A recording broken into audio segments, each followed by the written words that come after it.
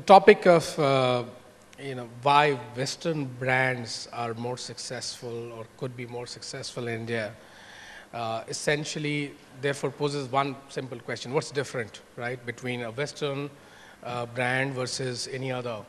right? And I, I think you know we were chatting about this before we got into this session, and I think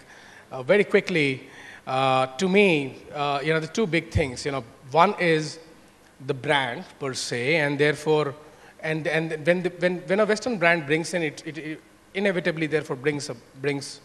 uh, the aspirational aspect, uh, an, experience that the consumer is looking for, a taste or, or, or, or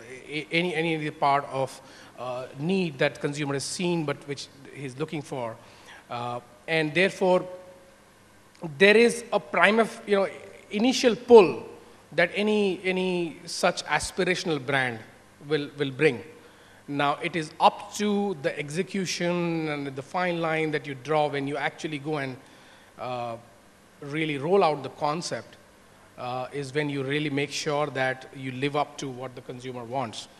The second part of this is uh, the consistency of consumer experience, which has been part of any large chain, uh, whether Western or Indian. And if, if, you, if they bring it uh, to the consumers uh, at any point of time. Then you walk into a restaurant, you know, uh, you know that you're going to get the same food, same experience, same uh, quality. Uh, you, you, you will keep coming back to it. And therefore, that is what makes it uh, really a success. Having said that, there is a financial side of it, and he just referred to it, Rachit, which is it is, restaurant business does have a larger uh, payback, if I may say, and therefore uh, it is, it is uh, the, given the lower cost of capital and the risk appetite, I think the Western concepts have had a longer uh, horizon or their out, in their outlook to investments. And that's also, therefore, enabled them to invest